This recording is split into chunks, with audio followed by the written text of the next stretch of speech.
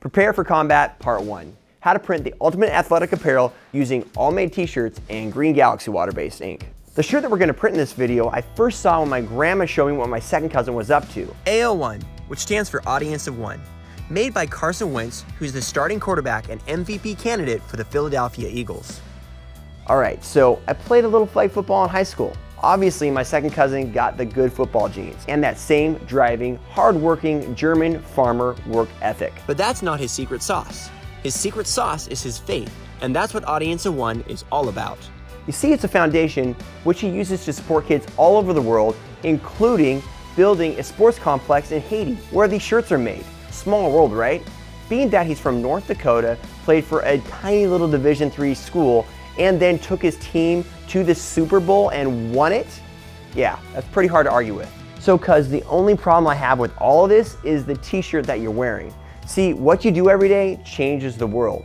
But that average t-shirt and the average print actually kills it. From the looks of it, you're probably wearing some kind of next level or Bella Canvas 50-50 or tri-blend. Now, while it feels great and looks pretty good, what it's made out of, not so great because it uses tons of water, oil, chemicals, and possibly questionable labor. In fact, one of the manufacturers has on their website child labor not under the age of 15 unless 14 where local laws allow. Yeah, pretty sure 14 year olds are supposed to be playing football and not making t-shirts. And so today, I'm gonna print you a shirt.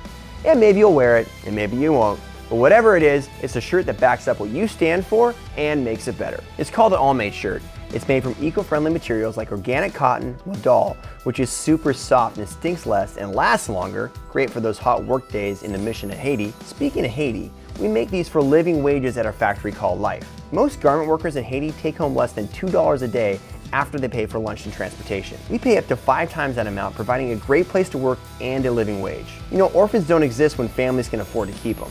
This ink is not only eco-friendly because it's water-based, but it also feels great and becomes part of the shirt. It breathes, it stretches, and it washes and wears as one.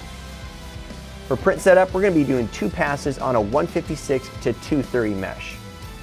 Now, that's what I call making it better. A great print, great shirt for a great cause. Keep up the good work, Carson, on and off the field, and maybe we'll see you around. Maybe even in Haiti.